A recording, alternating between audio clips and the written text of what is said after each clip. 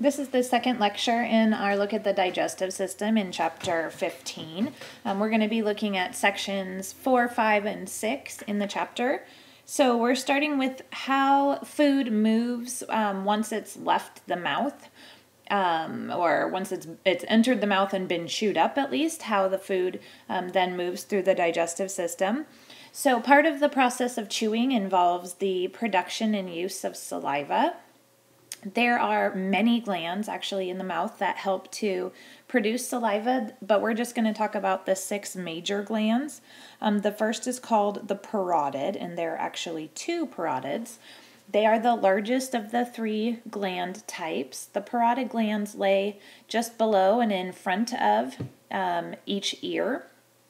They secrete the more watery component in saliva, and that watery component is high in a digestive enzyme called amylase that we'll talk more about in just a minute.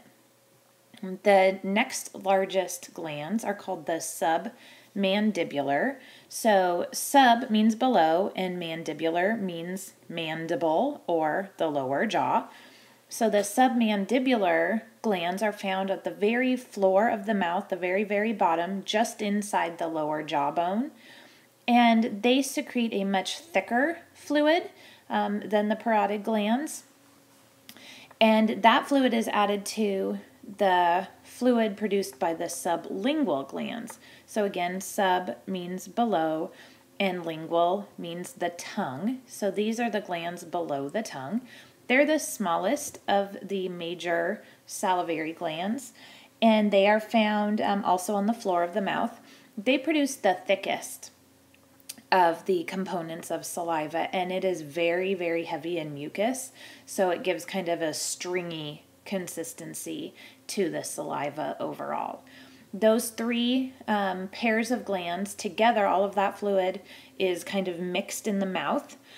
And what happens is the amylase comes into contact with any large carbohydrate. So um, this would be things like starches, so bread, rice, pasta, um, any kind of candy, things like that that have carbohydrate sugars.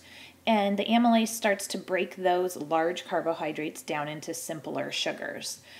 Um, the thick mucousy component of the saliva that's coming from the bottom part of the mouth helps to kind of clump or bind the food together and make it a little bit more um, slippery or slimy to um, assist in the swallowing of the food itself.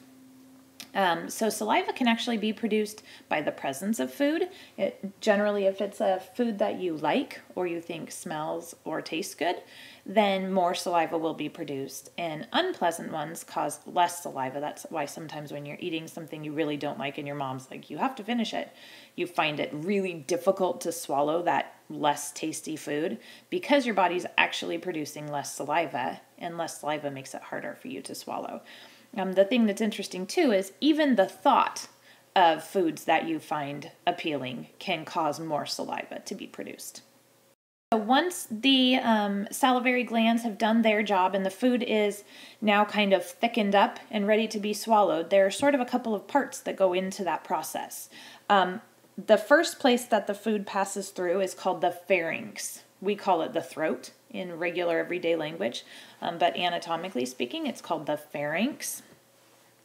And the pharynx it connects the um, oral cavity, the mouth, to the nose and to the esophagus. So there are three parts, and we're going from the top of the pharynx or the superior portion to the bottom. The topmost portion is called the nasopharynx, and as you might guess, the nasopharynx connects to the nasal cavity. It allows space for breathing. The oropharynx is next, and it connects the um, mouth to the pharynx itself. So that's the oro part refers to oral. It's right behind the soft palate of the mouth. And it has two jobs. It allows for food, obviously, to get into the esophagus, and it also allows for air to pass from the nasal cavity all the way through the pharynx and down into the trachea and the lungs. The last part of the pharynx is called the laryngopharynx. This relates refers to the larynx, which is your voice box. That's why when you lose your voice, we call it laryngitis. That's an infection in the voice box. So the laryngopharynx is the um, most inferior or the bottom portion of the pharynx, and it connects directly to the esophagus.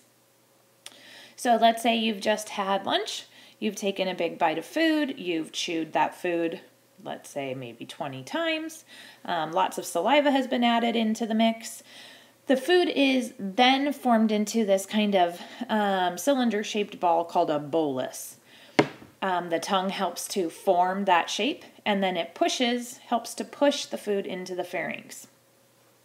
As the food gets into the pharynx, a couple of different things happen. The soft palate raises up, so the roof of the mouth raises up to close off the nasal cavity. The hyoid bone, remember that's at the very back and bottom of the tongue, and the larynx, the voice box, raise up to prevent food either going up into your nose or down into your airway, the trachea. And then the tongue itself presses against the palate to close the oral cavity so that the food doesn't come back up into the mouth. So all of that's kind of happening at the same time, which is making there really only be one direction for the food to go. So if this is your mouth, the food is coming in and now it's being forced down into the esophagus because everything up here has been closed off by different structures, as well as closing off this second air, or not second airway, but the airway itself. So let's say the blue there will be our esophagus. And then the muscles at the top of the pharynx um, will start to push. They, they kind of contract and grab a hold on the food, whereas the muscles down here at the bottom go a little bit limp and a little bit more relaxed. And that allows for more space for the food itself to actually find a new location. And then peristalsis grabs on, and this keeps happening all the way down the esophagus to move the food toward the stomach. Um, so the esophagus itself is just under a foot long. It, there's not a whole lot happening in the esophagus. It's a pretty straightforward, no pun intended. It's a pretty straightforward passageway. Um, it's hollow and it just connects the pharynx to the stomach. There's no absorption happening here, and actually, the food is in the esophagus for very little time. Um, what it does contain is a mucus layer, just like the rest of the alimentary canal. And that mucus layer helps to keep the inside of the tube moist, which helps keep the food moving along. It's kind of a slippery surface. At the very base of the esophagus, you can see here, is the lower esophageal sphincter, or the LES, which is easier to remember, I think. And it is a, a band of muscle that kind of rotates open and closed to let food into the stomach and to keep food and chemicals from coming back up into the esophagus. So that leads us to the stomach. The stomach is basically a J shaped pouch. It kind of looks like this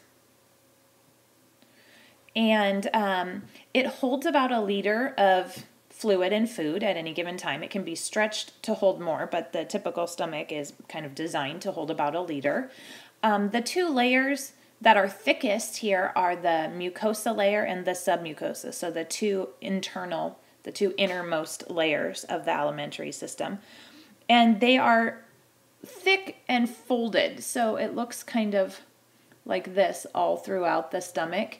As the stomach stretches out, the folds become smoother. Um, but when the stomach is relaxed and not full, um, those folds are very pronounced. They're called rugae. Um, I don't know that that's a term we will use a whole lot, but um, you'll see it in some of the diagrams in your book, so I wanted to mention it to you. The stomach's biggest two jobs are to begin the digestion of protein and then um, there's some absorption happening, not a lot, and we'll talk more about that um, at the end of the stomach section. So there are a couple different parts. The cardiac region is this part of the heart right here. It's right at the entrance. Um, the fundic region, it's a strange word, but that represents this um, kind of upper right portion of the stomach and it allows for some storage when the stomach is really full. The body region is this major portion of the stomach itself. Then we get into the pyloric region, which is down here right toward the end of the stomach. And then at the base of the stomach is another circular muscle, another sphincter muscle. This one is called the pyloric sphincter, and it leads into the small intestine. So we've got one at the top, the LES up here, and then the pyloric down at the bottom. So when food enters the stomach, um, a few different things sort of simultaneously begin to happen. We have, um, I mentioned these thick folds of mucosa and submucosa in the wall of the stomach, and there are little openings at the tip of each of these folds called gastric pits. These gastric pits are attached, or they are the end point of larger structures called gastric glands, which are inside the walls of the stomach. And the gastric glands produce um, all of the chemicals and liquids that help to break down your food, and then they release them through the gastric pits. So, some of the fluids and things that are a part of the gastric juice, which is a delightful um, thought, gastric juice, includes mucus, which is very, very thick, just like any other mucus in the body, and its job is to coat the stomach wall for protection. Um, one of the other major substances released by the stomach wall is hydrochloric acid or HCl. And hydrochloric acid is an extremely powerful protein digester. So, if we didn't have mucus protecting this, the wall of the stomach, then the hydrochloric acid would digest the stomach itself, and that would cause pretty significant problems for you. Um, then we have some digestive enzymes. Primarily, the enzymes that we're dealing with in the stomach are protein based. Every single food type has digestive enzymes that are specific to that type. So proteins have their own enzymes that break them down. And in the stomach, there is a chemical called pepsinogen. And pepsinogen is stored in the cells of the stomach wall. As soon as the pepsinogen comes into contact with HCl, when it's released um, from the gastric glands, that creates a chemical reaction that changes pepsinogen into a protein called pepsin. The pepsin itself is what digests proteins. So the pepsin is released out into the stomach, and anytime it comes into contact with a protein, it breaks that protein down into smaller parts. That's the job of the digestive enzymes.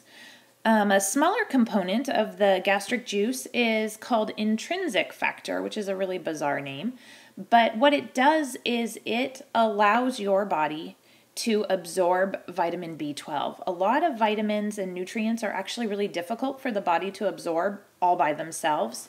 And so they sort of hitch a ride with other chemicals or other foods that are easily absorbed, and then they can get into the body that way. So this is how B12 gets in. It gets uh, it hitchhikes in with intrinsic factor. Um, some interesting facts for you. Your body makes up to about three liters of gastric juice every day, which is incredible. That's almost a full gallon of gastric juice and very similar to saliva, just the thought of delicious food can cause the stomach to start releasing gastrin, which then kicks off the reaction of gastric juices being released. So, just the thought of that pizza you might have at lunch can sometimes cause your stomach growling, right? You've got digestion starting to happen even though there's nothing in there. Um, and you'll hear that as a growling outside the body. So, the final kind of wrap up things. Remember, the stomach is not well designed for absorption. Those, that really, really thick layer of mucosa and submucosa, those are not, their job is not to absorb, their job is to protect. So, the stomach does not do a good job of absorbing anything. What it does absorb tends to be liquid. So things like water, obviously, alcohol, interestingly enough, is absorbed in the stomach quite easily um, some salt, um, different, not just table salt, but other kinds of organic salts. And then certain drugs, things like aspirin, for instance, that dissolve in fat and then the body takes them in through the stomach. Um, that's about it. When all of the food that's left, anything that hasn't been absorbed, gets thoroughly mixed with the gastric juice and thoroughly um, ground up in the stomach, it produces this very thick fluid called chyme. So it's pronounced as though it were spelled like that chyme. Um, and then the chyme moves toward the pyloric sphincter, that muscle at the very bottom of the stomach. As the food gets close to that region, that muscle begins to relax, which makes it really easy for food to leave the stomach and enter the small intestine. And once the food has left the stomach, then the gastric secretions slow down. There's no need for gastric juices to be made at that point anymore. Um, we discussed this in class, but remember that it takes anywhere from three to six hours for food to um, enter and then leave the stomach as digested as it's going to be. Um, liquids obviously pass through really quickly, there's very little digestion happening there then carbohydrates, then proteins, and finally fats. Fats take a long time for the body to deal with. So please write a summary and bring in three clarifying or discussion questions, and I will see you in class. Thank you.